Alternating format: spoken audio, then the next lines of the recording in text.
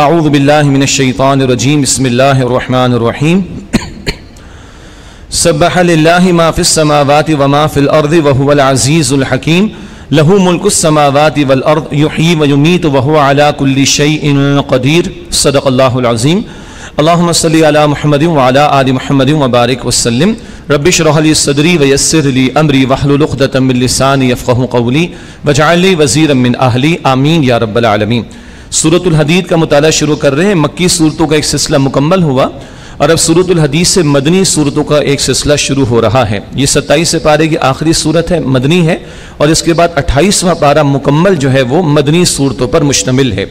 ये एक सूरत यहाँ सत्ताईस से पारे में मदनी और अट्ठाईस से पारे में नौ मदनी सूरतें हैं। ये कुल दस मदनी सूरतें मुसलसल आई हैं। तवील तरीन तो शुरू में है, अलबकर इमरान निसा और माएदा वो चार हैं लेकिन।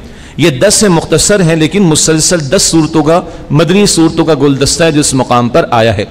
दूसरी बात यह कि इनमें से अक्सर जो है वो मदनी दौर के निसफ सानी में नादिल हुई। मदनी दौर से मुराद, हिजरत के बाद दस बरस नबी अक्रम सलाम मौजूद रहे। इन दस सालों में से सिर्फ़ एक सूर हशर है जो तकरीबन चार हिजरी में नादिल हुई, जो अभी थोड़ी देर में हम पढ़ेंगे इन बकिया अक्सर सूरतें वो पाँच हिजरी या उसके बाद के दौर में नादिल हुई।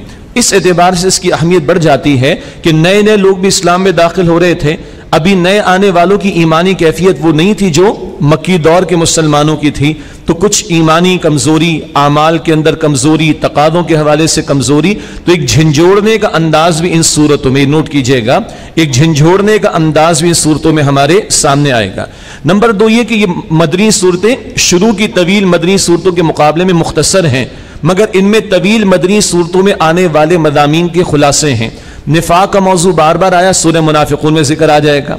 जिहाद कताल का मौजू बार बार आया सूर्य सफ़ में ज़िक्र आ जाएगा।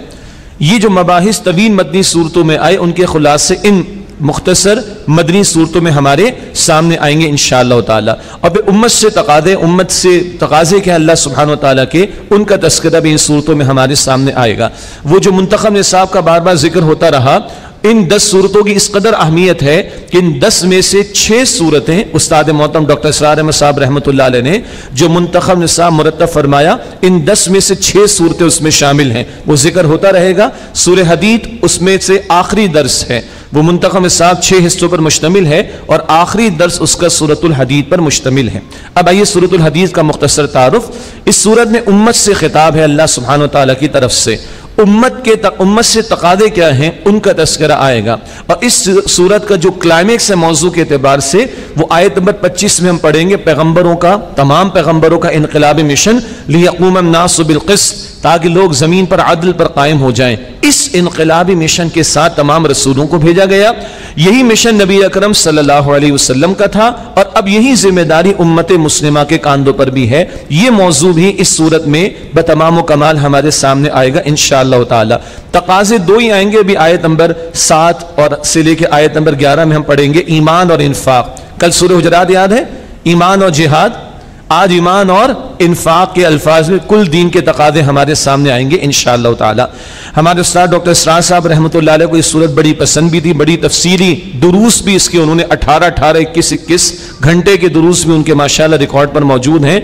और उसको फरमाते थे उम्मुल मुसब्बिहात कई सूरतें अभी आगे भी मुताल करेंगे जिनका आगाज़ तस्बी से होता है। सब्बहा हो तस्बी बारी ताला। तो उम्मुल मुसबहात इन मुसबहात वाली जो सूरतें जिनमें तस्बीहात का ज़िक्र है, उनकी भी माँ या उनकी भी बड़ी सूरत उम्मुल मुसबहात या सूरतुल हदीद है। पहली छह आयात में मौजूद तो ही हम पढ़ते हैं, पहले भी अल्लाह की ज़ात, अल्लाह की सिफात, उसका तस्करा, अल्लाह की शान, अल्लाह की कुदरतों का बयान, मगर ख़ास कॉन्टेक्स में उसको समझेंगे थोड़ी देर में इन तो पहली छह आयात अल्लाह ताला की ज़ात सिफात का तस्करा। बसमीम सब्बाफ़िसमावत व माफ़िल और तस्वीर बयान की हर शय ने जो आसमानों में और जो ज़मीन में है अल्लाह की वह अज़ीज़ुलहकीम और वह अल्लाह गालिब हमत वाला है।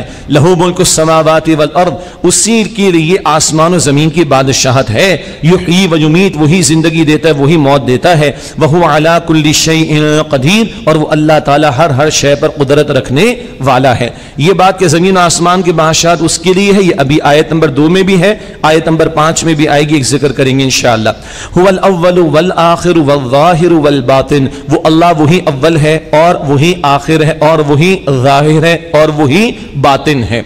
इसकी एक सादा ताबिर हुजूर की हदीस में है, मुस्लिम शरीफ की रिवायत में हुजूर नबी अकरम सलाम ने बड़े प्यारे अंदाज में ये कलिमात हमें सिखाए, हो अंतल अव्वलु फलई सकबल कशई अल्लाह, तू वो अव्वल है जिससे पहले कोई शे नहीं। वह अंतल आखिर फलई सबाद कशई और तू वो आखिर है जिसके बाद कोई शे नहीं है। वह अंतल वाहिर और तू वो ज़ाहिर है फलई सफ़ो का शई तुझसे ज़्यादा ज़ाहिर कोई शे नहीं। अल्लाह अकबर। वह अंतल बातनू और तू वो पोशीदा है फलई सदू न शई, के जिससे ज़्यादा कोई पोशीदा नहीं है। ये सादा बात मेरे और आपके लिए काफ़ी है। बाकी इसमें हर अल्लाह के सिफाती नाम के बाद वाओ का आना आमतौर पर नहीं आता। सूर्य हशर में हम पढ़ेंगे अलमलिकुलकुद्दूसलामुलमहीमिनजीज़ुलजब्बारमुतकबिर आठ हैं वाव नहीं आता आमतौर पर। यहाँ दरमियान में वाव आया, इस पर उलमा ने बहस की, फिर कुछ गहरे मबाहिस हैं, हादिस और कदीम का रब्त क्या है, यानी खाल और मखलूक का आपस का ताल्लुक क्या है? फिर उसके जेल में फ़लसफियाना मैदान से उठने वाले सवालात और उम्मत के असलाफ ने उनका फलसफियाना सतह पर दिया जवाब, उसमें वहदतुल वजूद और वहदतुल के मबाहिस, ये इस वक्त का मौजूद नहीं। अलबत् को तीन तीन घंटे डॉक्टर इसरार अहमद साहब रहमत ने अपने तफसीली दुरूस में इस पर कलाम किया है। सिर्फ़ इस वजह से कि उम्मत के बाज बुज़ुर्गों पर इस आहद में कुछ लोगों ने बड़ा लानतान किया है और उनका जवाब उस्ताद मोहतरम डॉक्टर इसरार साहब ने दिया रहमत कि भाई वो फ़लसफ़े के मैदान के मसाइल को हमारे बुज़ुर्गों ने फ़लसफियाना सतह पर बयान किया है। उनके लिए जो उस मैदान के लोग हैं तो उनको उस तनाजुर में देखना चाहिए। वो मबाहिस, वो फिर तफसीली दुरूस में मौजूद हैं।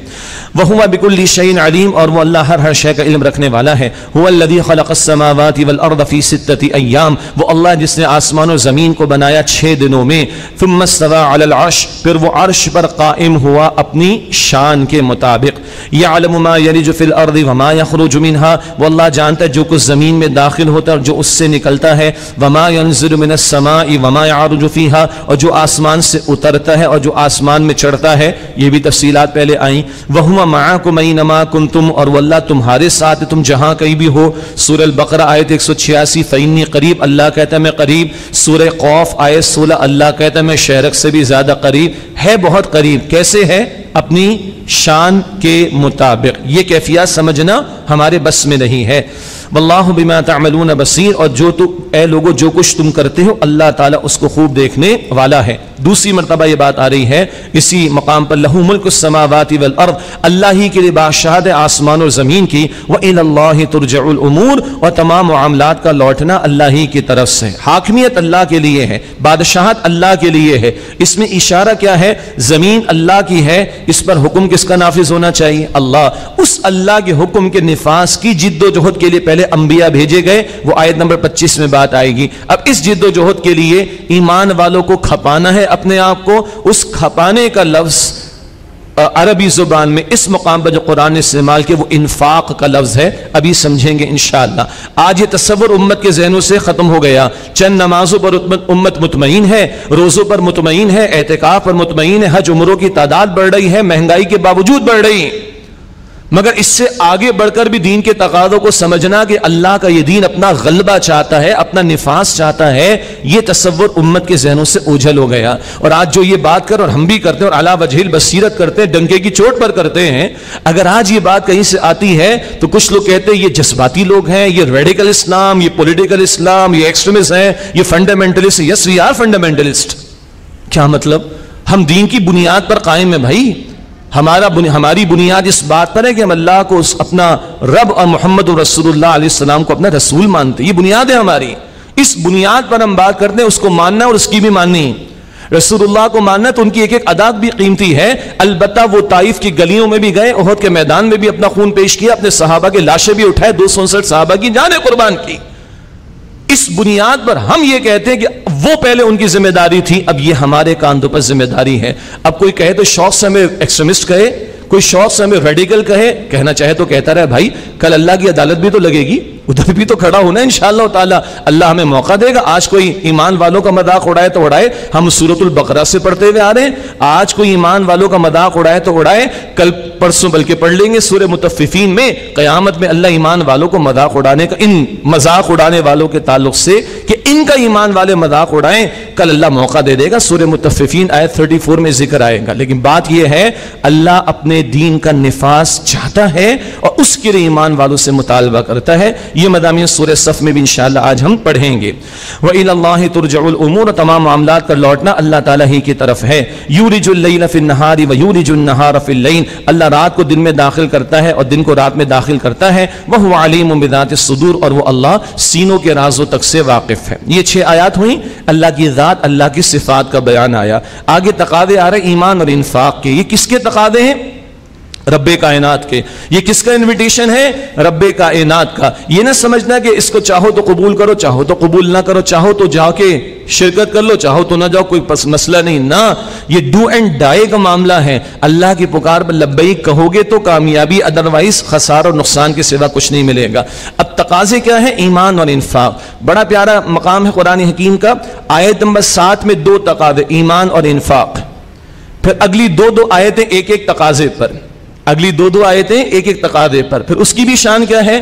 पहले डांट डबट फिर तरगीब तशवीक मोटिवेशन एक तकादे पर ईमान पर। फिर डांट डबट इन्फाक के हवाले से, और फिर तरगीब तशवीक और मोटिवेशन ये पाँच आयात का बड़ा खूबसूरत एक पैकेज हमारे सामने है। फरमाया, आमिन बिल्ला व रसूली, ईमान लाओ अल्लाह पर उसके रसूल सलाम पर। और अक्सर इन सूरतों में खिताब ईमान वालों से है तो ईमान वालों से हकीक ईमान का मुतालबा किया जा रहा है। यही मौजू सूरह सफ, आयत नंबर 10 में भी और 11 में भी आएगा इन ईमान वालों से हकीकी ईमान का तकादा किया जा रहा है। आमिन बिल्ला व रसूल ही तुम ईमान लाओ अल्लाह पर और उसके रसूल मुकरम वसल्लम पर वह अनफ़िको मिम्मा जालकमुस्तखलफ़ी नफ़ी और उसमें से खर्च करो जिसमें हमने तुम्हें इख्तियार अता किया है। आमतौर पर इन्फाक हमारे जहनों में बात एक हद तक ठीक भी है कि वो माल का होता है। और तकाजा भी आता है। देखिए, इस मकाम पर है, जिस जिस शय में अल्लाह ने इख्तियार दिया, उसको खर्च करो। अब वो जान भी है, माल भी है इंटेलेक्ट भी है, बोलने की सलाहियत भी है, औलाद भी है, ताल्लुकात भी हैं, वसाइल भी हैं, जायदादें भी हो सकती हैं। न जाने क्या कुछ है। जिस जिस शय पर इख्तियार दिया, उसको खपाने, लगाने का तकादा है। और ये खपाना, लगाना किस किस सतह पर होगा? सूर्य हुजरात में ज़िक्र आया, आयत नंबर पंद्रह में, ईमान और जिहाद फ़ी सबील्ला जिहाद मुस्तकिल मेहनत अल्लाह का बंदा बनने के लिए, जिहाद मुस्तकिल मेहनत अल्लाह के दिन की दावत देने के लिए, जिहाद मुस्तकिल मेहनत अल्लाह के कलमे की सरबुलंदी की मेहनत के लिए। तो वहाँ हुजरात आयत पंद्रह में ईमान और जिहाद के अल्फाज थे, यहाँ ईमान और इन्फाक के अल्फाज बात वही है, एक फूल का मजमू हो तो सौ रंग से बांधू। वह अनफ़िको मम्मा जालक मुस्तखलफ़ी नफ़ी और उसमें से खर्च करो जिसमें अल्लाह सुबहान तला ने तुम्हें जानशी बनाया, इख्तियार दिया है फ़ी ही जिसमें। फलदीन आमन मिनकुम, पस तुम से जो लोग ईमान लाए व अनफ़ुलहम अजरुन कबीर, और उन्होंने खर्च किया, उनके लिए बड़ा बड़ा अजर होगा। अल्लाह हमें यकीन अता फरमाए। दो तकादे, ईमान और इन्फाक। और इन्फाक हर शय का, हर हर सतह पर। बंदगी के लिए, बंदगी की दावत के लिए, बंदगी को बंदगी पर अपने निज़ाम को कायम करने की जिद्दोजहद के लिए। अब अगली आयत में ईमान के लिए डांट डपट हमारे लिए भी है। वमालकुम बिल्ला और तुम्हें क्या हुआ कि तुम वाक़ता अल्लाह पर ईमान नहीं लाते? वर रसूल रबिकुम जबकि उसके रसूल तुम्हें बुलाते हैं सल्लल्लाहु अलैहि वसल्लम कि तुम अपने रब पर ईमान लाओ। वक़द अखद मीसाकुम इन कुम तुम और यकीन वो तुमसे अहद ले चुके, अगर तुम वाक़ता ईमान लाने वाले हो। हुजूर ने भी अहद लिया और अल्लाह ताला से भी बंदे मोमिन अहद करता है। समिअना व अताना हमने सुना और हमने इतात की तो झंझोड़ा जा रहा है, क्यों ईमान नहीं लाते? क्या मतलब? महज ज़ुबान तक तुम्हारा ईमान महदूद क्यों है? दिल में यकीन क्यों नहीं आता? वो तो मुनाफिकीन है ना, ज़ुबान का इकरार है, दिल की तस्दीक नहीं होती। नहीं, ईमान वालों वाक़तन ईमान लाओ। ये है ज़रा डांट डपट। कुछ एहसास पैदा हो तो अब तरगीब है, तशवीक है, मोटिवेशन का बड़ा प्यारा अंदाज। हुदी यूनज़ी आयात बैनात वो अल्लाह जो अपने बंदे सल्लल्लाहु अलैहि वसल्लम पर वाज आयात नाजिल फरमाता है लियुखरिजकुमिनज़ुलुमात नूर, ताकि वो तुम्हें गुमराही के अंधेरों से निकाल कर हिदायत की रोशनी की तरफ़ ले आए। लो, ईमान चाहते हो? ईमान की बढ़ोतरी चाहते हो, अल्लाह कलाम नाजिल कर रहा है, उसके पैगंबर तुम्हें सुना रहे हैं, सल्लल्लाहु अलैहि वसल्लम, और इन आयात करीमा का हासिल क्या है? गुमराही के अंधेरों से निकाल कर ये मोहम्मद मुस्तफ़ा सलाम तुम्हें हिदायत की, रोशनी की तरफ़ ले आएँगे। सूर्य अनफाल आयत नंबर दो, ये ईमान बढ़ता है अल्लाह की आयात के ज़रिए। फरमाया व इन अल्लाह बिकुम रऊफ़ और रहीम और बेशक अल्लाह ताला तुम पर बहुत शफकत फरमाने वाला, रहम फरमाने वाला है। उसी की तो रहमत का मजर है, अर्रहमान अल्लमल कुरान उस इंतहाई रहम फरमाने वाले ने अपनी रहमत के तोफैल ये तुम्हें कुरान अता किया। अल्लाह इस नूर कुरान से मेरे आपके हम सबके दिलों को और मुनवर फरमाए और अल्लाह हमारे ईमान में बढ़ोतरी अता फरमाए। अगली आयत थोड़ी सी डांट डबट है और फिर तरगीब तशवीक है। वमालकुम, और तुम्हें क्या हुआ? अल्लाह तुनफ़ी सबील्ला तुम क्यों अल्लाह के राह में इन्फाक नहीं करते, खर्च नहीं करते? वलील्ला मीरासमावाती वल अर्द। और आसमानो ज़मीन की मीरास अल्लाह के लिए है। कुछ बचा कर रख भी लो तो तुम्हारे पास रहेगा कब? भाई दादा चले गए, अब्बा को मिला, अब्बा गए, बच्चों को मिला, हम गए, हमारे बच्चे वो गए, उनके बच्चे सब चले गए, किसका है? अल्लाह का। उसी को लौटा दो। क्यों खर्च नहीं करते? तुम तो अमीन बनाए गए हो। तो जो शे अता की उसका मालिक तो अल्लाह है। लहू माफिस समावाती व माफिल और आसमान ज़मीन में जो कुछ भी उसकी मिल्कियत तो अल्लाह सुबहान तला के लिए क्यों नहीं लगाते उसके सामने? अब एक बड़ा डाट डबट के साथ ही तरगीब का अंदाज। ला यसवी मिन कुमन अनफ़ मिन कबल फ़तही वक़ातल तुम में से बराबर नहीं वो जिसने खर्च किया फतह से पहले और जंग की। उलाइक आदम दरजत मिन लदीन अनफ़ मिन बाद वक़ातलू ये लोग दरजात में उनसे बड़े हैं जो जिन्होंने बाद में खर्च किया और जंग की, यानी कताल किया। वकुल वादल्लाहसना और हल, हर एक से अल्लाह ताला ने उमदा वादा किया है। फतह से एक मुराद फतेह मक्का है, जब दीन गालिब हुआ है उसके बाद। उससे पहले मखलूबियत के दौर में मुश्किल के दौर में, मसाइब के दौर में जो खर्च कर रहे हैं, लगा रहे हैं अपने माल को, जान को, जंग भी कर रहे हैं, इनका अजर जब बाद में फतह हो जाएगी, दीन गालिब हो जाएगा, उसके बाद जो खर्च करेंगे, उसके बाद जो लगाएँगे, खपाएँगे, उनसे ज़्यादा होगा। हाँ भलाई का वादा दोनों से अजर का वादा दोनों से लेकिन अजमत किसके लिए है? जो मखलूबियत के दौर में खर्च करे। आज बताइए, दीन गालिब है कि मखलूब मखलूब की मखलूबियत के दौर में है ना। आज लगाने का मौका है, खपाने का मौका है। अरे क्राइसिस के बावजूद लोगों के लक्षण खत्म नहीं हो रहे हैं। महँगाई के बढ़ने के बावजूद फजूलियात में खर्च होने वाला पैसा कम नहीं हो रहा तो ईमान वालों का हाथ क्यों रुके? अल्लाह के दीन के लिए खर्च करने में भाई की महँगाई बड़ी हो गई है। खुदा का खौफ करो यार। बाकी तो कोई चीज़ नहीं रुक रही है। शादी ब्याह के फजूल खर्चे नहीं रुक रहे, फ़िल्म ड्रामे नाच गानों के खर्चे खर्चे नहीं रुक रहे। ब्रांड वर्शिपर्स बनकर ब्रांड के पीछे दीवाने होकर जो लाखों खपाया जाता है, वो कुछ नहीं रुक रहा। तो ईमान वाले दीन के लिए खर्च करने में रुकेंगे क्या? कतान नहीं। आज जिस मकलूबियत के दौर में जो खर्च कर रहे हैं, उसका अजर बाद वालों से ज़्यादा होगा। वल्लामलून खबीर, और तुम जो कुछ भी करते हो, अल्लाह ताला उससे खूब वाकिफ है। बड़ा प्यारा अंदाज अगली आयत में मोटिवेशन का तरगीब का। मंजल्लादन हसना, कौन है जो अल्लाह को कर्द हसन दे? अजर करीम। तो अल्लाह उसको बढ़ा कर दे, और उस बंदे के लिए बड़ा इज़्ज़त वाला अजर होगा। अल्लाह अकबर। कौन है जो अल्लाह को कर्ज हसन दे? अल्लाह अकबर। अल्लाह को कोई हाजत है? अल्लाह को कोई ज़रूरत है? नहीं हमारी मोटिवेशन के लिए। कर्ज क्या रकम होती है जिसकी अदायगी लाजिम होती है? हसन क्या है? हलाल में से दिया जाए और इखलास नीयत के साथ दिया जाए। अल्लाह अल्लाह का दिया हुआ अल्लाह की राह में लगाए तो हमारा कोई कमाल वो कबूल फरमा ले, उसका करम, वो कहे, बढ़ा कर दूँगा, उसकी शान करीम वो कहे, इज़्ज़त वाला अजर दूँगा, इकराम के साथ दूँगा। हाथ तो नीचे होगा ना, लेकिन जिल्लत नहीं होगी, पहले भी ज़िक्र आया। इकराम के साथ देगा तो ये तो उसकी शान करीमी, दर शान करीमी है। अल्लाह मुझे आपको आज मौका है, भाई, लगाएँ, अपनी इंटेलेक्ट को लगाएँ। आज हमारी एक बेटी ने भेजा मैसेज के खैर, हमारी भतीजी है कि वो बहुत से यंगस्टर्स आ जाएँगे, खुदा के वास्ते कुछ ज़रा मैसेज आ इससे बड़ा मैसेज क्या होगा? अल्लाह ने तुम्हें इंटेलेक्ट दी है, तुम्हें कुत दी है, तुम्हारा खून जोश मारता, गर्म खून है।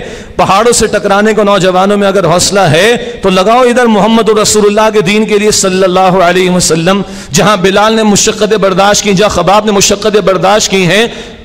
जहाँ मुसअब ने मुशक्क़तें भी बर्दाश्त की और अपनी जान का नजराना भी पेश किया है। इससे बड़ा और क्या प्रोफेशन हो सकता है? इससे बड़ा और क्या कैरियर हो सकता है? इससे बड़ी और क्या सादत हो सकती है? हमारी ये जाने, हमारा ये माल, हमारी ये इंटेलेक्ट हमारी ये सलाहियतें, उस काम में सर्फ हो जाएँ, जो इमामबिया का काम था सल्लल्लाहु अलैहि वसल्लम। अल्लाह मुझे, आपको, हमारे घरानों को, हमारे वसाइल को, हमारी औलाद को, हमारी नस्लों को इस काम के लिए कबूल फरमाए।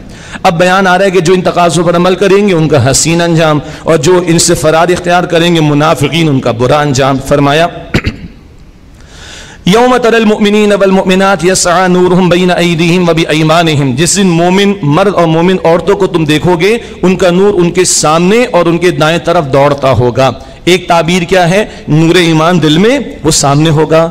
और नेक आमाल के लिए दाया हाथ कुरान में अल्फाज इस्तेमाल होते हैं तो नेक आमाल का नूर दाएँ तरफ़ होगा। इसका यह मतलब नहीं कि लेफ़्ट साइड पे कुछ नहीं होगा। भाई, अगर मशाल मेरे दाएँ हाथ में तो रोशनी तो हर तरफ़ होगी ना, लेकिन ईमान का नूर और नेक आमाल का नूर जो कल लेकर आएगा, तुम देखोगे उनके सामने दौड़ रहा होगा, दाएँ तरफ़ दौड़ रहा होगा। फरमाया कि बुशरा कुमलियोम जन्नात। आज तुम्हारी लिए खुशखबरी बागात की। तजरीम इन तहतियार जिनके नीचे से नहर जारी होंगी। खालिदीन अफ़ीहा वो उनमें हमेशा रहेंगे। फ़ौज़ीम यही अजीम कामयाबी है। अल्लाह इसका भी यकीन दे, असल कामयाबी वहाँ की। वरना याद रखिएगा, दुनिया में बहुत से अम्बिया शहीद हो गए। नतीजा सामने नहीं आया। हुजूर, अल्लाह अकबर, हज़रत मूसा सलाम खुश, बल्कि खुश किया, रोए हैं महराज की शब। पूछा, मूसा, क्यों रोते हो? कहा, ये नौजवान मोहम्मद सल्लल्लाहु अलैहि वसल्लम, ये मेरे बाद आए और इनकी उम्मत मेरी उम्मत से बहुत बड़ी होगी। हुजूर ने फरमाया, मेरी उम्मत की 120 में से 80 सफ़े होंगी जन्नत में। जन्नत वालों की 120 रोज सफ़े होंगी 80 टू थर्ड इस उम्मत की होंगी। मगर अल्लाह के रसूल ने फरमाया, कोई नबी आएगा, उसके साथ सिर्फ़ दस लोग कोई नबी होगा जिसके साथ सिर्फ़ पाँच होंगे और कोई नबी आएगा, एक भी नहीं होगा उसके साथ। तो नतीजे तो नहीं निकला। और याद रखिए, अल्लाह की निगाह में इस दुनिया के नतीजे की कोई हैसियत नहीं। असल कामयाबी, वहाँ की कामयाबी, अगर मैंने अपना हिस्सा डाल दिया। सुमैया शहीद हो गई मक्का में, यासिर शहीद हो गए मक्का में, इन्होंने दीन का गलबा नहीं देखा। हमजा का लाशा उठाया, रसूलुल्लाह सलाम ने, उहद में हमजा शहीद हो गए मुसब शहीद हो गए। सत्तर सहाबा शहीद हो गए। दीन गालिब नहीं हुआ, मगर ये कामयाब हो गए। इन्होंने अपना पार्ट प्ले कर दिया। और दीन गालिब हो गया फतेह मक्का, आठ हिजरी। अबू अब्दुल्ला बिन उबई नाकाम हो गया। ज़िंदा तो है ना? कलमा पढ़ने वाला भी है, मगर काम नहीं किया। रसूलुल्लाह का साथ नहीं दिया, ज़िंदा है। ये नाकाम हो गया, दीन गालिब हो गया है। तो at the end of the day it's me me my self मैं हूँ मसला। मैं अपना हिस्सा डाल रहा हूँ कि नहीं डाल रहा मैं अपने साथ कमिट मैं अल्लाह के दीन के साथ कमिटेड होकर, मुखलिस होकर काम कर रहा हूँ। चाहे मेरी ज़िंदगी में नतीजा ना आए, मैं अल्लाह के इनशाला कामयाब हो जाऊँगा। यह है असल कामयाबी। लेकिन नतीजा फिर भी आएगा। अल्लाह के रसूल फरमा गए, क्यामत से पहले पूरी ज़मीन पर अल्लाह का दीन गालिब होना है। आज हमें पार्ट बनना है उस पूरी मेहनत का। सूर्य सफ में और बात करेंगे इनशाला अब वो लोग जिन्होंने फरार इख्तियार किया, वो जो कलमा पढ़ने वाले तो थे मुनाफिकीन, कुछ अमाल भी अंजाम देने वाले वाले थे, लेकिन दीन की जिद्दोजहद से फरार, दुनिया की मोहब्बत में डूबकर दीन से फरार जिन्होंने इख्तियार किया, फरमाया कि यौम यकूलमनाफ़िकून वलमुनाफ़ातदीना आमन। जिस दिन मुनाफिक मर्द और मुनाफिक औरतें कहेंगे उनसे जो ईमान लाए उन दुरुना थोड़ा नज़र करम तो करो। नकतबिस्मिन नूरिकुम, तुम्हारे नूर में से कुछ ले लें। यह है वो असरात का बयान, जिसको हम और आप पुल सिरात कहते हैं। हदीस में अल्फ़ा असरात वहाँ तारीकी तारीकी है। रोशनी उसके लिए होगी जिससे दुनिया में ईमान और नेक अमल की नूर की रोशनी तलाश कर रखी होगी। मुनाफिकीन अंधेरे में कह रहे ईमान वालों से थोड़ा रुको, थोड़ा सा इंतज़ार तो करो नज़र करम तो करो हाँ हमारा कुछ ख्याल तो करो। नकद में नूर इकुम तुम्हारे नूर में से कुछ ले लें। कील और जियो वरा अकुम फल तमीसू नूरा, कह दिया जाएगा, जाओ अपने पीछे लौट जाओ, वहाँ जाके नूर तलाश करो। तलाश करना था तो कहाँ तलाश करना था? दुनिया में। आज तलाश करने का मौका नहीं, आज तो नतज है। फवरी बबैन हम फिर उनके दरमियान एक दीवार खड़ी खड़ी कर दी जाएगी, इसका एक दरवाज़ा होगा। बात इनफी रहमतु, इसके अंदरूनी जानब रहमत, यानी एक तरफ़। बवाहिर आदाब उसकी बाहर की जानब अदाब होगा। मुराद, एक तरफ़ वो जन्नत वाले और जन्नत की वस आते हैं वस आते हैं और दूसरी तरफ़ आहले जहन्नम, उस जहन्नम की वस आते हैं दरमियान में दीवार दीवार में एक दरवाज़ा। अहले सुन्नत वल जमात ने इससे यही समझा है कि वो मुसलमान जो अपनी सजा भुगतेंगे जहन्नम में, अल्लाह महफूज रखे। अल्लाह महफूज रखे, अल्लाह महफूज रखे, अल्लाह पहले मरहले में माफ़ फरमा दे, मगर जो अपनी सजा भुग देंगे बिल आखिर निकाल लिए जाएँगे, ये इशारा उसकी तरफ़ भी, कि दरवाज़ा किस लिए होता है, एक तरफ़ से दूसरी तरफ़ जाने के लिए। युनादून अलम नकुम महाकुम वो मुनाफिक मुसलमानों से कहेंगे, पुकारेंगे, क्या हम तुम्हारे साथ नहीं थे दुनिया में? अब्दुल्ला बिन उबई भी कह रहा होगा, उसकी पूरी कंपनी के लोग कह रहे होंगे, सारे मुनाफिकीन कह रहे होंगे, सच्चे ईमान वालों से कह रहे होंगे, हम तुम्हारे साथ नहीं थे? कौलू बला, वो कहेंगे हाँ हाँ वला किन नकुम फतन तुम अनफुसकुम, बल्कि तुमने खुद अपने आप को फितने में मुबतला किया। यहाँ चार बातें आ रही, नोट कीजिएगा, और ये निफाक की बातनी कैफियत दर्जा बदर्जा जो आगे बढ़ती है। एक है निफाक का ज़ाहिर में इजहार इन सुर मुनाफिकुन में पढ़ लेंगे। लेकिन यह वो इजहारी अलामत हैं। ये बातिन की कैफियत एक मुनाफिक की। नंबर एक फतन तुम अनफुसकुम तुमने खुद अपने आप को फितने में डाला दुनिया की मोहब्बत में डूबे तो दीन से तुमने फरार इख्तियार करके खुद अपने लिए मुसीबत पाली। नंबर दो वह तरफ़ बस तुम और तुम इंतज़ार में बैठे रहे। अरे जान छूटे मुसलमानों से। कभी तुम हुदैबिया वाले टाइम मौके पर नहीं गए कि जान ही छूटे इनसे महाद अल्लाह कभी अहजाब के मौके पर तुम्हारे दिलों में ऐसी बात आई जान ही छूटे। तो मुसलमानों के बारे में इंतज़ार में कि इनकी इन, इनका खात्मा ही हो जाए तो हमारी जान छूटे। ये कैफियत तुम्हारी आ गई महाद अल्लाह वर तब तुम और तुम शक में मुबतला हो गए। क्या शक में मुबतला हो गए? जब ईमान धेले का नहीं अंदर और अमाल से भी फरार है इताज से भी फरार है तो बातिन पर नहूसत क्या तारी होगी? पता नहीं करने का काम है भी कि नहीं। ये दीन ठीक है भी कि नहीं? ये अहकाम है भी कि नहीं? ये शकूक शकूक और शुभात में बंदा खुद अपने आप को मुबतला करता चला जाएगा। वह गर्रत कुमुल अमानी, और तुम्हें झूठी तमन्नाओं ने धोखे में डाल दिया। वो झूठी तमन्नाएँ अलबकरा में याद आया? यहूद का मामला, करना कराना कुछ नहीं, जन्नत हमारी पक्की। अल्लाह अकबर, सूरह मायद, आयत नंबर अठारह। हम तो अल्लाह के बेटे, अल्लाह के चाहिए हम तो बख्शे बख्शाए हैं। अल्लाह कहते फिर अल्लाह तुम्हें आदाब क्यों देता है? करना कराना कुछ नहीं, और तमन्नाएँ लेके बैठे हुए हम तो बख्शे बख्शाए हैं। फिर क्या हुआ? हत्ता जामरुल्ला यहाँ तक कि अल्लाह का हुक्म, यानी मौत आ गई। वगर्रकुम बिल्लाहिल और अल्लाह के बारे में बहुत बड़े धोखेबाज, यानी शैतान ने तुम्हें धोखे में डाल दिया। यह है मुनाफिकीन की बातनी कैफियत का बयान। दर्जा बदरजा, अंदरूनी तौर पर निफाक कैसे आगे बढ़ता है, उसका बयान। ज़ाहिर में क्या नज़र आता है, वो बाद में सूरत मुनाफिकून में पढ़ेंगे इन फल योम मिन कफरू। बस आज तुमसे ना कोई फिदिया लिया जाएगा, ना उन लोगों से जिन्होंने कुफर किया, यानी अंजाम के एतबार से कल मुनाफिकीन और काफिर एक जैसे हैं, अजाब में होंगे। और फिर हम पढ़ चुके सुर निसा, आयत नंबर 145 मुनाफिकीन जहन्नम के सब जहन्नम के सबसे निचले गढ़े में होंगे। अल्लाह हम सबकी हिफाजत फरमाए। मवाकुमन्नार तुम्हारा ठिकाना जहन्नम है, हिया मौलाकुम, वही तुम्हारी साथी है वही सल मसीह, और वो लौटने की बहुत बुरी जगह है। अल्लाह अजरना मिनन्नार ए अल्लाह, हम सबको आग के आदाब से महफूज शर्मा अगली आयत हिला देने का मकाम जोड़ने का मकाम। दिल के कानों से मैं भी सुनूं, आप भी सुने। सत्ताईस पारा कुरान का पढ़ रहे हैं। नाइन्टी परसेंट कमोबेश तकमील हुआ चाहती है कुरान हकीम की। सत्ताईस पारा आउट ऑफ़ थर्टी जी, कितने तकादे हमारे सामने आए। और मेरी जज्बातियत नहीं, ठीक है, जोश खिताबत तो आपको महसूस होता ही है, लेकिन कुरान का तर्जुमा बयान हो रहा है। उसके जेल में बात आ रही है, को अपनी पास से बातें तो नहीं उड़ाकर पेश की जा रही हैं। जरा सोचें, ये आयत हमसे क्या मुतालबा कर रही अलम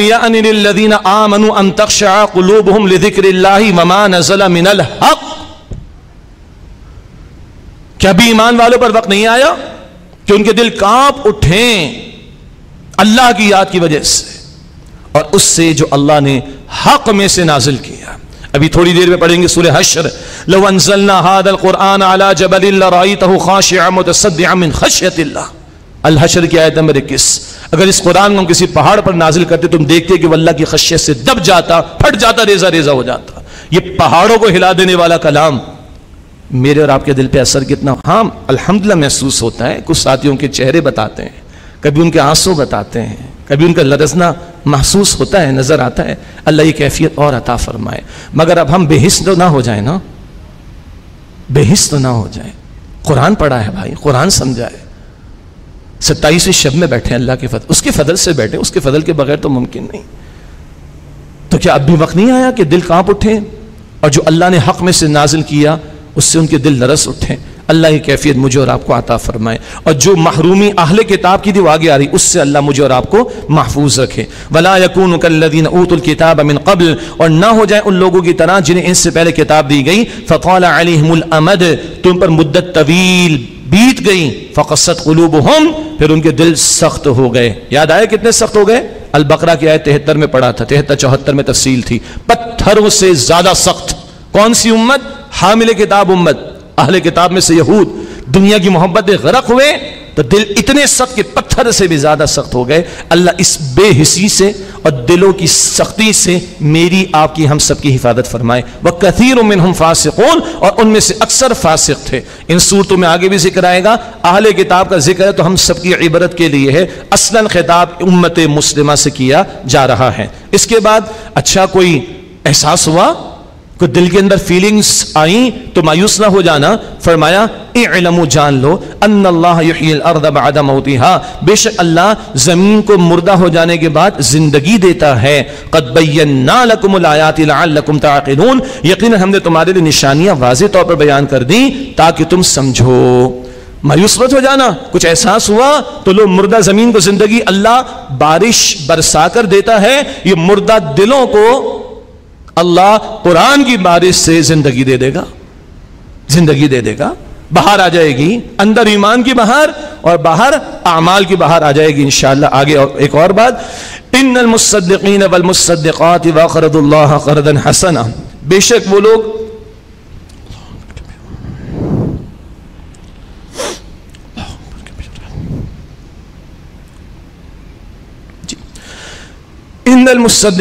मुसद्दिक़ात बेशक सदका करने वाले मर्द और सदका करने वाली औरतें व अकरदुल्लाह करदन हसना और वो जिन्होंने अल्लाह को कर्ज हसन दिया युदाफ़ुलहम वलहम अजर करीम उनके लिए बढ़ा दिया जाएगा अजर और उनके लिए इज़्ज़त वाला अजर होगा अल्लाह अकबर बस असल में मेरी कैफियत इस वक्त इस वजह से हो रही है कि वो हमारे उस्ताद ने बड़ी मोहब्बत से हमें सूरत पढ़ाई है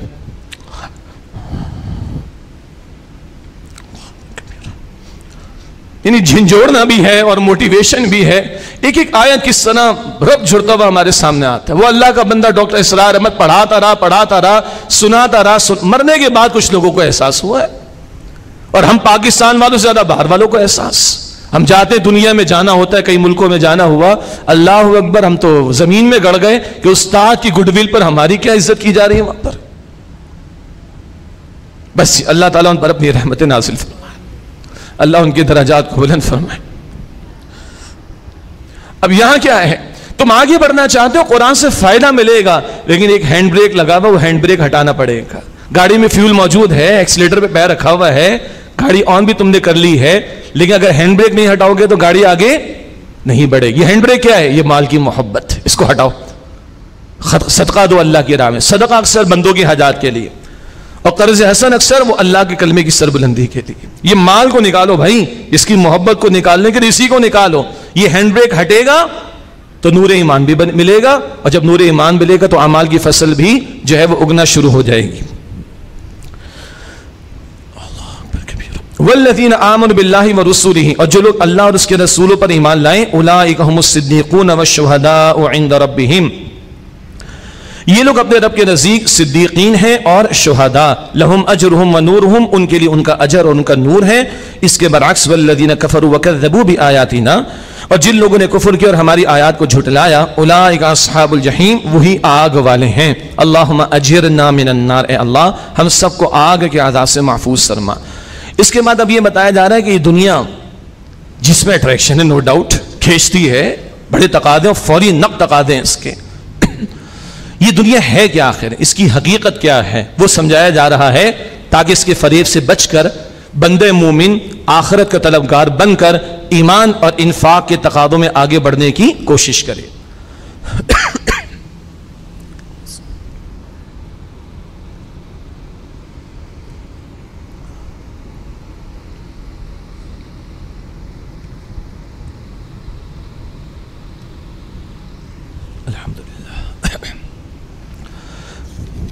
फरमाया कि इलमु अन्नमल हयात दुनिया लइबु व लहवु व जीनतु व तफाखुरुम बैनकुम व तकाथुरुन फिल अमवाल वल औलाद।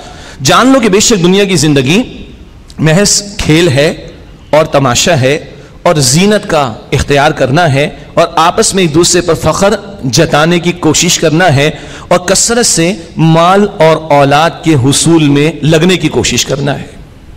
क्या मतलब?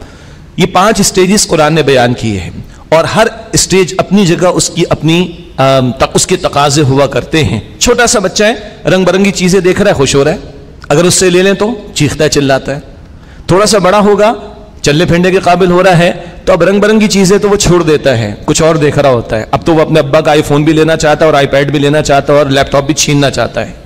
थोड़ा सा और बड़ा टीनेज पर आता है तो ये चीज़ें भी चलती है, लेकिन अब वो हेयर स्टाइल की फ़िक्र है और वो ब्रांड कॉन्शियसनेस वाला मामला ज़्यादा है।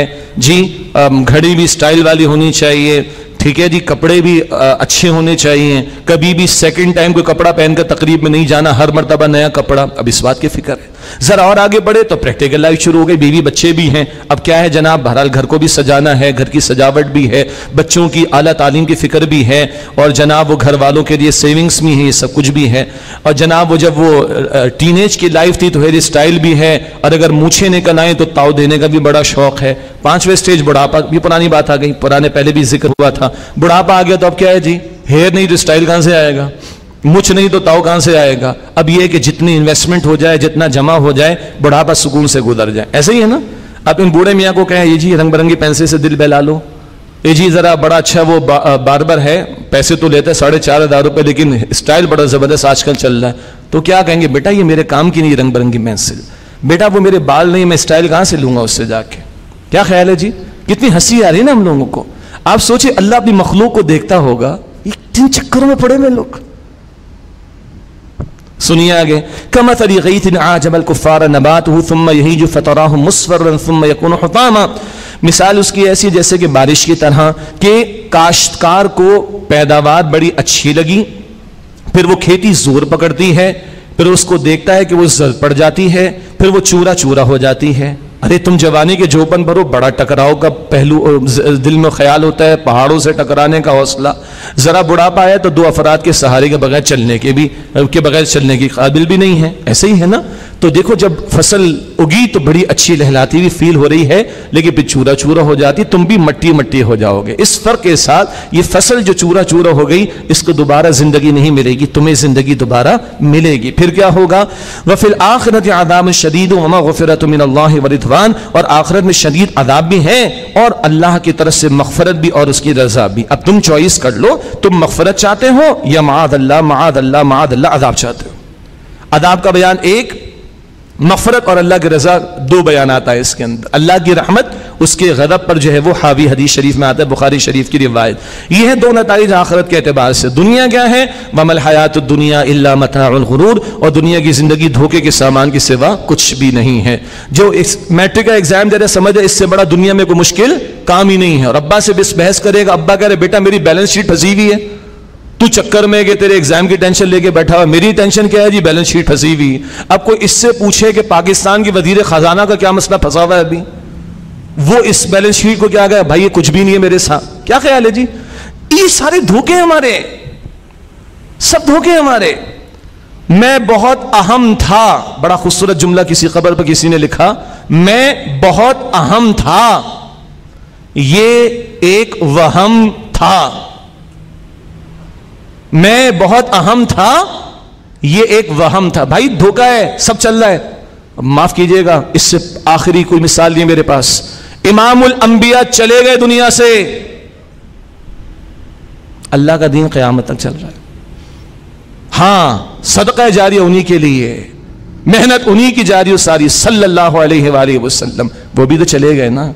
सबने जाना है। दुनिया धोखा है, फरेब है इसके सिवा कुछ नहीं। अल्लाह इसके धोखे फरेब से मेरी आपकी हम सबकी हिफाजत फरमाए। अच्छा ये दुनिया आरजी फ़ानी हुजूर ने फरमाया सलाम अहमद की रिवायत और मुस्लिम शरीफ की रिवायत, तुम में से कोई अपनी उंगली समंदर में डाले, निकाल कर देखे कितना पानी लक्कर आया। ये जो लक्कर आया, ये भी बह जाता है। ये दुनिया है, दुनिया दुनिया। वो ठाटे मारता हुआ समंदर, वो आखरत है। कोई मवाजना है? किस धोखे में हम पड़ जाते हैं? अल्लाह इस धोखे से मुझे और आपको बचाए। बचेंगे तो फिर रिलीज़ करेंगे अपने आप को अल्लाह के दीन के लिए, वरना सब मसरूफ हैं। बारह घंटे सोने वाला भी मसरूफ है, कहता है टाइम नहीं। आठ घंटे टीवी की स्क्रीन या स्मार्टफ़ोन की स्क्रीन के सामने बैठने वाला भी कहता है, मेरे पास टाइम नहीं। किसी के पास नहीं। ये तो जब इस चुंगल से आदमी अपने आप को बचाएगा तो कुछ रिलीज़ करेगा तो दीन के लिए खपा सकेगा। अब अल्लाह की पुकार सामिकुम मुसाबकत करो कंपटीशन करो, दौड़ो एक दूसरे से आगे। कहा? अपने रब की मफरत के हसूल के लिए और जन्नत के हसूल के लिए, जिसकी विक्त जिसकी वसात आसमानों आसमान ज़मीन जैसी है तो लेंथ का आलम क्या होगा, हम नहीं समझ सकते। और आसमानों के बारे में हमने पढ़ा, सूरह जारियात, आयत नंबर फोर्टी नाइन में अल्लाह फरमाते हम आसमान को वसत दिए चले जा रहे हैं। यहाँ जन्नत के बारे में फरमाया, मुसाबिकत करो कंपटीशन तो सभी कर रहे हैं, लेकिन सारे कॉम्पीट करके कब्र में जाते हैं भाई।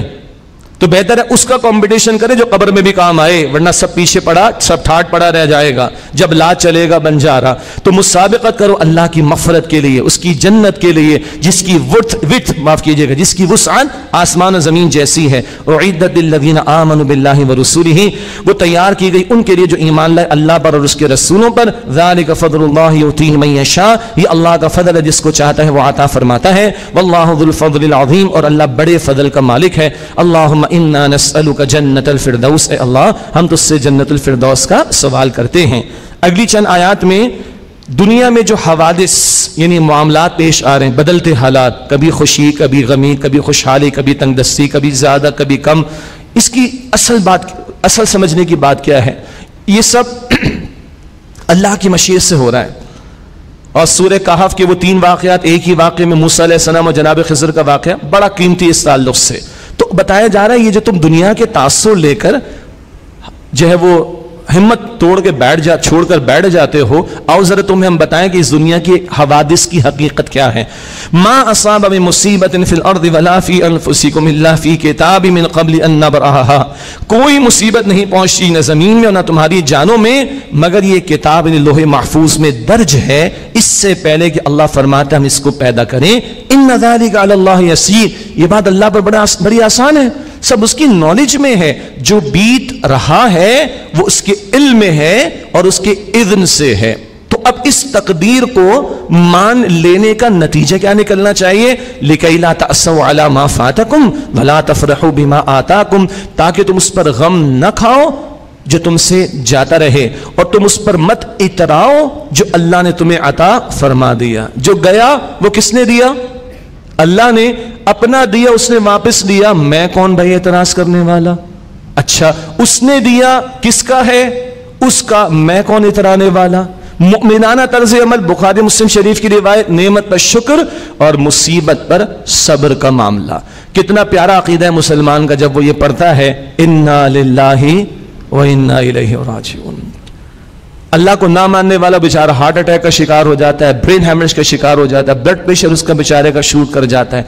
ये यकीन हो, ये गया मेरे वालिद का इंतकाल हो गया, मेरी वालदा का अल्लाह का हुक्म। हाँ रो लूँगा, रोए तो हुजूर भी हैं सल्लल्लाहु अलैहि वसल्लम, मगर चीखूँगा नहीं, चिल्लाऊँगा नहीं, क्यों? ये मेरे रब के हुक्म से होगा। माल का नुकसान हो गया किसका था? उसी का था, उसने ले। जान का नुकसान हो जाए किसकी है? जो चाहे सो करे और मिला तो मेरा है, ना मेरे रब का है। सुलेमान सलाम लियबलुबनी मेरा अल्लाह मेरा इम्तिहान ले रहा है। आए, मैं शुक्र करता हूँ ना शुक्री अगर ये क्लियर हो जाए तो ये दुनिया के ज़्यादा तासुरात नहीं लेगा बंदा। छोटी मोटी ऊंच नीच साथियों में हो जाती है, घरों में हो जाती आदमी पीछे हो जाता है। किससे? दीन से पीछे हो जाता अल्लाह, इसने मुझे वो कह दिया, उससे ये हो गया। अब भाई, होना था।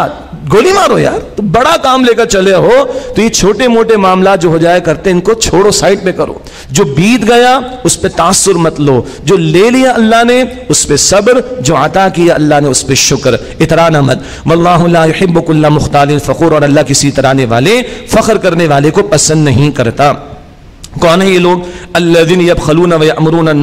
बुखल जो लोग बुखल यानी कंजूसी करते हैं और दूसरों को भी बुखल की तरगीब देते हैं। दूसरों को क्यों कहते हैं कंजूस बनो?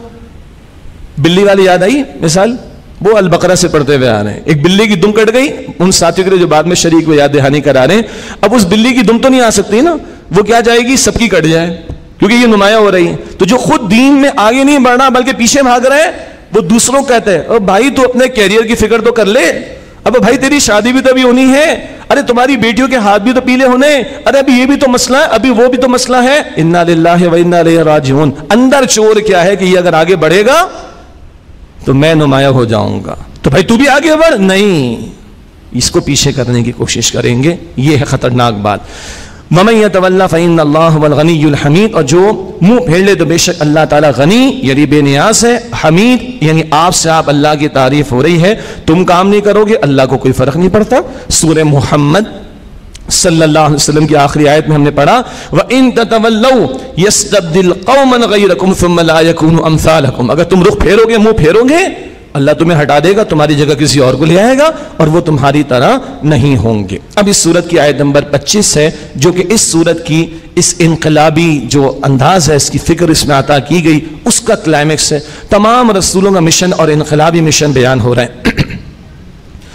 लक़द रसलना बिलबैनात यकीन हमने रसूलों को भेजा बैनात मोजात के साथ। वानसलना माहमुल किताब अबल मीज़ान और हमने उनके साथ किताबें नाजिल की और मीज़ान अदल अता की, यानी शरीयत का कानून।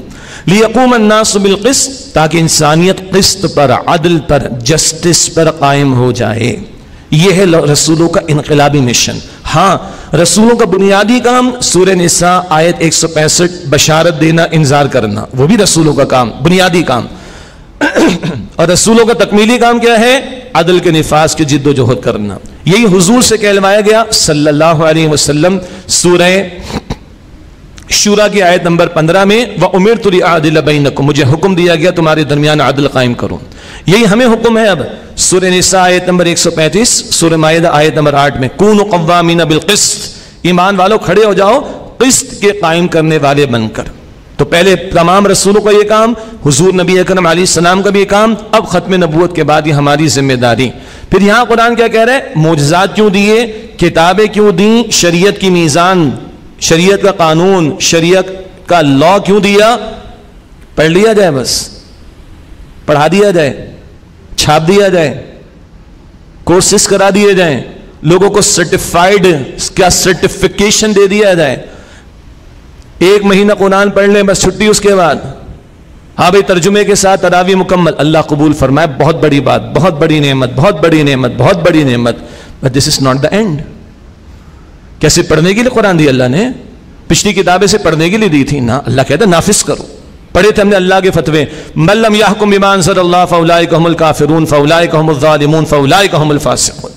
सूर्य मायदा की आयत नंबर 44, 45, 47 जो लोग अल्लाह के नाजिल करदा कलाम के मुताबिक फैसले नहीं करते वही काफिर हैं वही जालिम वही फासिक है। अल्लाह महफूज रखे। तो सारे रसूलों की मेहनत का एक बहुत बड़ा मकसद क्या था?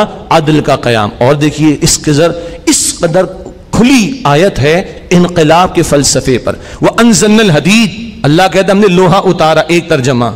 तर्जमानी हमने लोहा पैदा किया। अब इसमें वो साइंटिफिक फैक्ट भी है और फला ने ये बयान किया, वो सूरज की किरणें वो शुआएँ ज़मीन में जाना वो होगा। और ज़मीन में लोहे का बनना but this is not a book of science this is book of guidance तो साइंटिफिक फैक्ट तो रखिए एक तरफ़। आज एक मिजाज बना हुआ लोगों का, इसको साइंस की किताब बना बना दो। ऐसा नहीं है। लोहा काय को दिया हमने? फ़ी ही बासुल शदीद, इसमें जंग की सलाहियत मौजूद है। कितनी खुली आयत है तुमने छुरी, कांटे, इस तरह की चीज़ें कुछ बनाई, लोहे से कुछ और चीज़ें बना ली, बना लो भाई। लेकिन नहीं, इसका आगे फरमाया, व मनाफिनास लोगों के फ़ायदे की भी चीज़ें हैं। कुछ और चीज़ें इक्विपमेंट्स वगैरह तुम बना लो, ठीक है। अहम तरीन काम, यह फ़ायदा क्या है? इसमें जंग की सलाहियत है। और ये जंग किस लिए? जालिमों का निज़ाम कभी बैठे बैठे खत्म नहीं होता। जिन जालिमों के अपने जालिमाना निज़ाम के साथ वेस्टेड इंटरेस्ट हुआ करते हैं, वो लातों के भूत होते हैं जो बातों से नहीं मानते। तो कभी अगर ऐसे जालिमों का हाथ रोकने, बल्कि तोड़ने और बल्कि इनकी गर्दनें उड़ाने की ज़रूरत पेश आए तो अल्लाह कताल का हुक्म देता है। कुरान में भी देता है ओल्ड टेस्टमेंट में भी देता है न्यू टेस्टमेंट में भी देता है। सो मस सो, सिर्फ़ हवाले के लिए।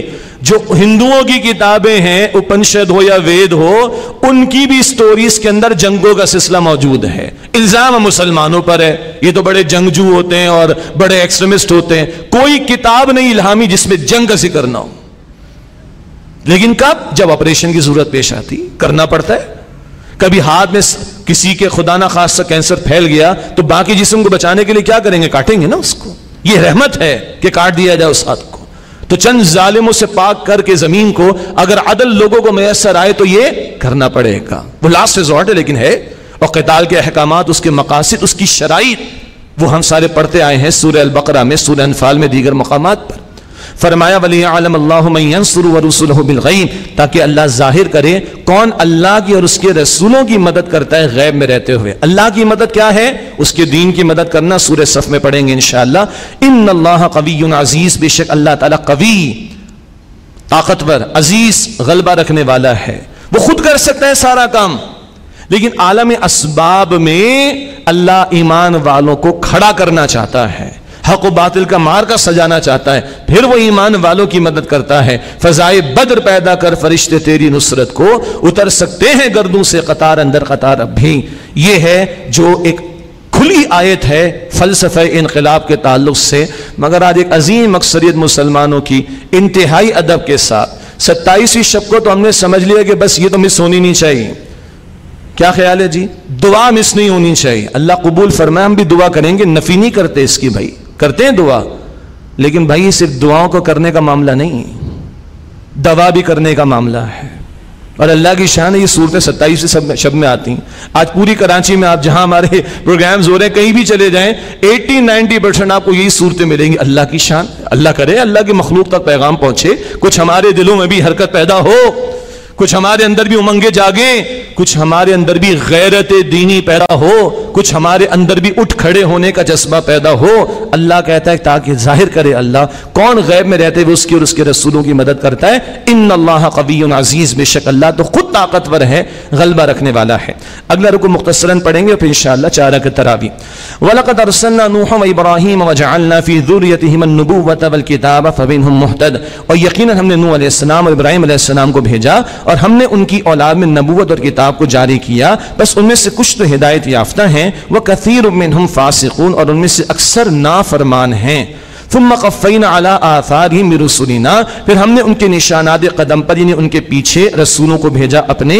वक़फ़ीन ईसा मरियम, और उनके पीछे हम लेकर आए ईसा इबन मरियम को अलैहिस्सलाम व आते नाहुल इंजील, और हमने उनको इंजील अता की। वजालना फ़ी क़ुलूबिल्लज़ीन तबऊ रफ़तम व रहमा, और जिन लोगों ने उनकी पैरवी की, उनके दिलों में नरमी और मोहब्बत डाल दी। यानी ईसा के सच्चे पैरोकार, उन्होंने रिफ्क और मोहब्बत और शफकत और नरमी की बेहतरीन मिसालें कायम की, मगर उनके सच्चे पैरोकारों की बात हो रही। वरना क्रूसेड जब सजी हैं तो जो जुल्म ढाया गया है मुसलमानों पर, वो भी तारीख का एक हिस्सा है, वो भी नसारत है।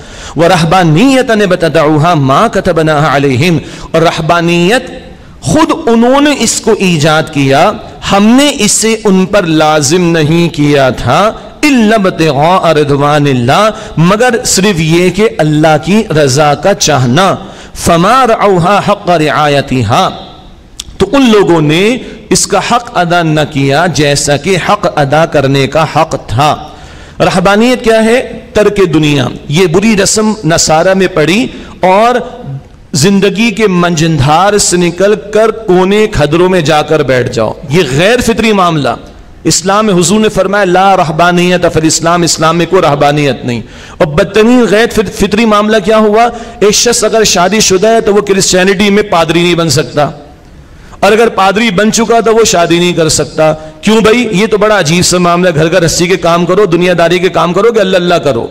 गैर फितरी रास्ता इख्तियार किया, उसके बाद जो बदतरीन वहाँ पर गंदगी आई है, वो बयान करने के लायक भी नहीं है। इस मकाम पर तफीम कुरान मौलाना मदूद अली रहमा की आप पढ़ लीजिए। बदतरीन, नाजायज मामला बस आगे खुद ही आप समझ लीजिए, उस इंतहा पर वो गए। ये तो हुआ जो इन लोगों ने इख्तियार किया। असल एक और नुकता क्या है? क्लाइमेक्स क्या था इस सूरत के मदामीन का? क्लाइमेक्स ये था, अल्लाह की ज़मीन पर अल्लाह के अता करदा आदनाना निज़ाम को कायम करने की जिद्दोजहद करो। इस जिद्दोजहद से फरार इख्तियार करवाना शैतान उस पर लगा हुआ है। कुछ को दुनिया की मोहब्बत में डुबाता है और पीछे करता है दीन के तकाजों से। वो पढ़ चुके दुनिया की ज़िंदगी के बारे में हकीकत क्या है उसकी? और कुछ को क्या करता है? ना ना दुनिया बहुत बुरी शय भाई। अपने काम से काम रखो। दुनिया के ज़्यादा ना पढ़ो भाई। कुछ डूबते हैं दुनिया में और दीन से भागते हैं। और कुछ को कहते नहीं, दुनिया बहुत बुरी शय भाई। अपनी अपनी फ़िक्र को कोने खतरे में बैठे रहो। दुनिया जाती तो जाए। बकौल हमारे उस्ताद रहमतुल्लाह के, शैतान नंगा नाच नाचता रहे। नाचने दो उसको। तुम चुप करके कोने खदरे के अंदर बैठे रहो। दोनों सूरतों में नतीजा क्या है? कोई भी बातिल के मुकाबले में और हक की सरबुलंदी के लिए मैदान में उतरने की कोशिश ना करे। तो ये रहबानियत का धंधा भी शैतान की चाल है कि लोगों को कोने में बिठाकर मसरूफ रखो। बस वो अपना अल्लाह अल्लाह करते रहे, अच्छे बच्चे बने रहे, कोने में बैठे रहे, कोने में बैठे रहे, मैदान में आके खड़े ना हो। और इमामुल अंबिया क्या करके दिखाते हैं? सल्लल्लाहु अलैहि वसल्लम। रात को कयामुल लैल भी है, दिन में कभी ताइफ है, कभी ओहद का मैदान है कि नहीं? सहाबा की शान क्या है? रात के राहिब हैं, दिन के शह सवार हैं। ये है मोहम्मद करीम सल्लल्लाहु अलैहि वसल्लम का उसवा और उनके प्यारे सहाबा का उसवा। और शैतान कुछ लोगों को अपने ही अंदर, अपने आप को मांझते रहो मांझते रहो। अपनी रूहानी तरक्की, अपना ही तस्किया, अपना ही तस्किया, और कोने में बिठा दो इसको बस। बाहर सारा गंदा ना चलता रहे शैतान का। उसके अंदर आकर कोई बातिल को खत्म करने की कोशिश ना करे। यह है शैतान का हरबा, लोगों को दीन की जिद्दोजहद से दूर रखने का। अल्लाह ताला हम सब की हिफाजत फरमाए। फरमाया कि फ़ातीन लदीन आमन मिनहुम अजरहम तो उनमें से जो लोग ईमान लाए, हमने उन्हें उनका अजर दिया, जो साहिब ईमान रहे, उनको अजर मिला। लेकिन व कसीर मिनहुम फासिकून, और उनमें से अक्सर नाफरमान थे। या युवल्लदीन आमन तकुल्ला ईमान वालो, अल्लाह का तकवा इख्तियार करो, व आमिन रसूल ही और उसके रसूल सलाम पर ईमान लाओ। यू तिकुम किफलैन रहमत ही अल्लाह अपनी रहमत का दोहरा सवाब तुम्हें, दोहरा हिस्सा तुम्हें अता करेगा। एक राय अहले किताब को कहा जा रहा है। अगर आखिरी रसूल पर ईमान ले आओ तो दोहरा अजर मिलेगा। उनको तरगीब दिलाई जा रही, एक राय ये है। और एक ही सच्चे ईमान वाले इनको कहा जा रहा है, सच्चा ईमान तब होगा जब मोहम्मद मुस्तफ़ा सलाम पर वाकता ईमान हो और उनकी जिद्दोजहद में लगो। ये करोगे तो दोहरा सवाब मिलेगा। खुद अमल करोगे सवाब? और इस जिद्दोजहद से लोग दीन की तरफ़ आएँगे, वो अमल करेंगे, उसका अजर उनको भी मिलेगा और तुम्हें भी। दोनों एतबार से तर्जमा। वह जालकुम नूरा, और अल्लाह तुम्हारे लिए ऐसा नूर बना देगा, तमशून अभी जिसके साथ तुम चलोगे। इस दुनिया में हिदायत का नूर और असरात पर ईमान और नेक अमल का नूर तम तमशून भी जिसके साथ तुम चलोगे। वह गफिर लकुम और अल्लाह तुम्हारे गुना बख्शने का तुम्हारे लिए। वल्लाह गफूर रहीम और अल्लाह ताला बहुत बख्शने वाला, नहायत रहम फरमाने वाला है।